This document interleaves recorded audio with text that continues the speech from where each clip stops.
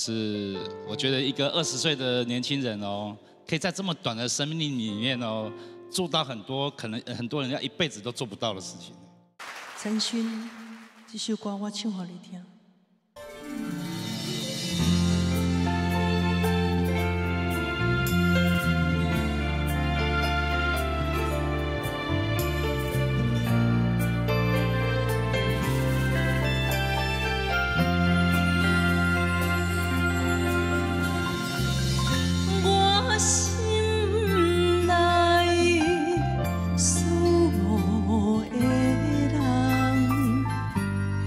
怎样离开阮的身边，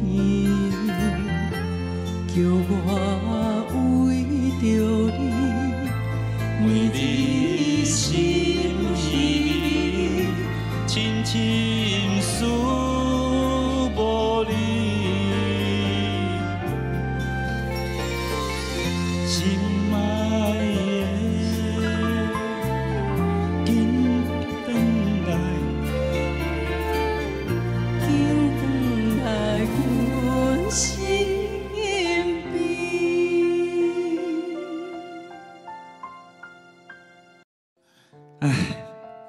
去，讲话比唱歌艰苦。我们决定要唱这首歌之前，其实是两个礼拜前的事情，对不对？啊，那时候我们还不知道选选这个歌要怎么唱，对不对？然后一个礼拜以后，就听到柯承勋的事情嘛，对不对？啊，然后我今天呢，其实是带着一个就是承勋的心情来来。来唱这首歌，啊，就是我觉得一个二十岁的年轻人哦，可以在这么短的生命里面哦，做到很多可能很多人要一辈子都做不到的事情，啊，比如说来参加比赛，啊，哇，他第一次上小巨蛋就是被你邀请的呢，对不对？为什么那时候邀请他？那是他的梦想。我想讲，我的演唱会绝对要有意义，每一场拢共款。我无希望我的演唱会是为着赚钱，我希望互需要的囡仔有舞台，所以我让陈勋上了那个舞台，可是却成为了最后的舞台。其实啊，本来。本来在三个月前啊，陈勋曾经跟我讲说，第二次回来参加红人榜比赛哦，他好像越比哦，听到我们的讲评哦，就觉得他还要继续比吗？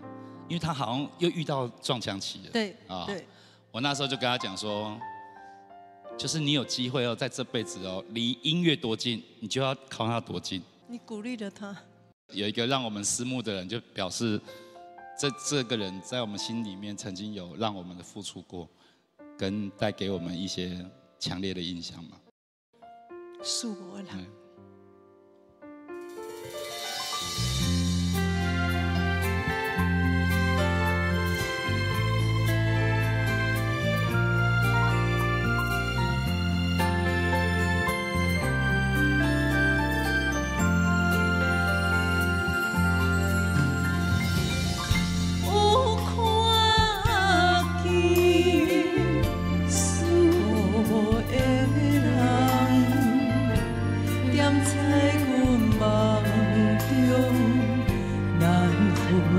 等你，因我对着你，更加心绵绵，茫茫过。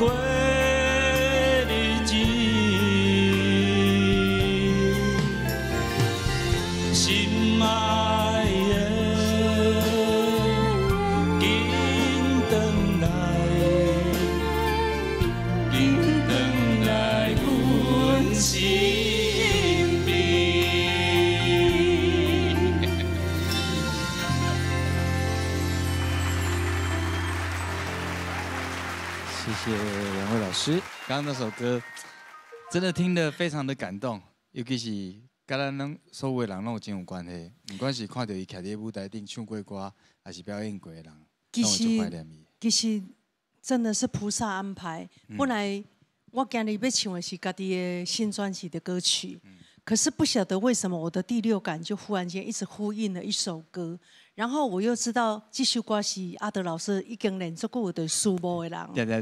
对，然后我就讲阿德，也是咱两来唱书模的人，那会知影讲，敢若安尼决定了后，过无几工就接到了陈勋的消息，然后这个影像忽然间让我放声大哭，我一直很舍不得陈勋，但是。